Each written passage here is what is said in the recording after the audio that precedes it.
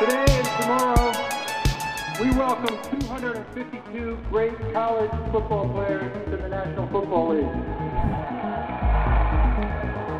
With the first pick, Kyler Murray, quarterback. and then uh, you don't get drafted. Fellow undrafted free agents. First off, I get it. I know this situation sucks. After months of going through of being stuck in this limbo, that is the draft, suddenly your entire reality has changed.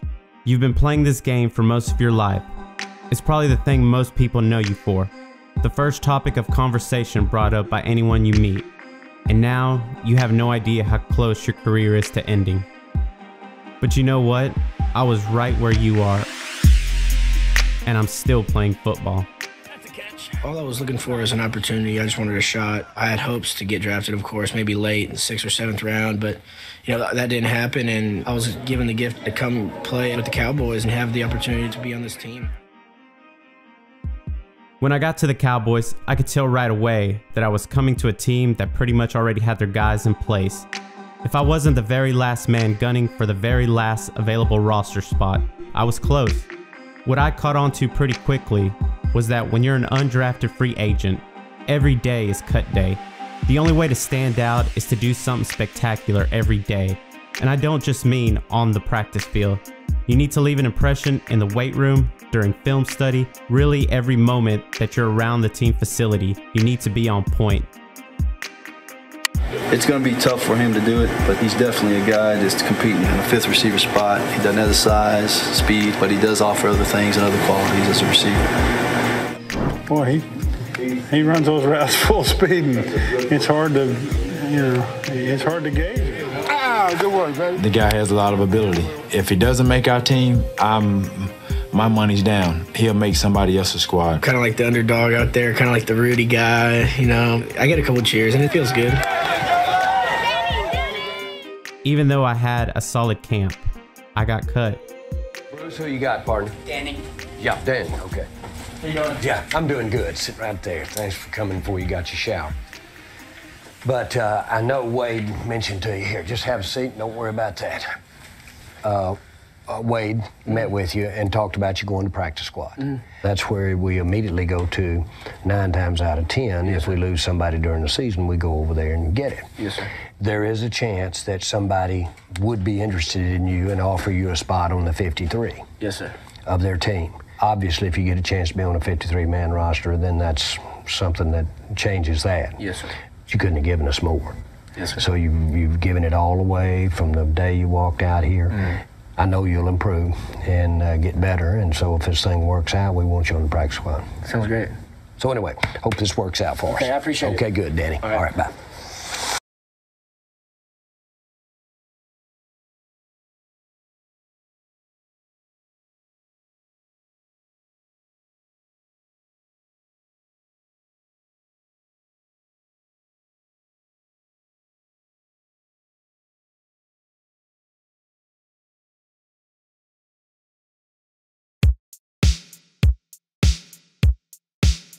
After spending a year on the Cowboys practice squad, I signed with the Eagles in the offseason and joined them for training camp. This time was a little different though. I got pretty lucky. A couple of weeks after I signed with the Eagles, their quarterbacks coach, Pat Shurmur, took the job as offensive coordinator in St. Louis. We only overlapped for a couple of weeks, but we seemed to have good chemistry. Two weeks after the Eagles waived me, I got a call that the Rams wanted to sign me. Not on the practice squad. They wanted me on the active roster, returning punts. That's how fast it could happen. Kickoff to Danny Amendola.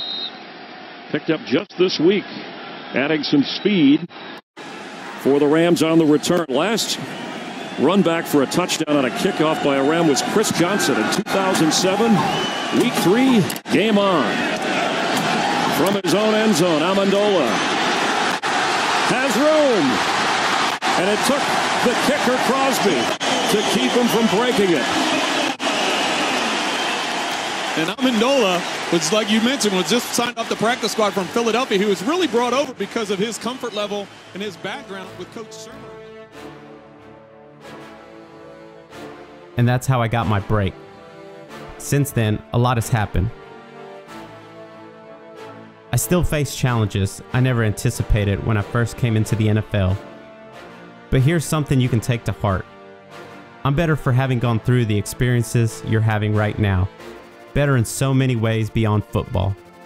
If you're going to make it, it's definitely going to take some degree of luck. But it's worth remembering that you have to put yourself in a certain position in order to get lucky. The only way to get your break is to keep showing up, keep grinding, keep finding a way to make it to another practice until luck finds you. No matter what, you can never stop believing that your time will come. That's the only reason I'm still here. Not all bad. Not all bad. No, it didn't. Not all bad. Get to play football. That's right. Good luck with whatever comes next, and hopefully, see you soon. Sincerely, Danny Amendola.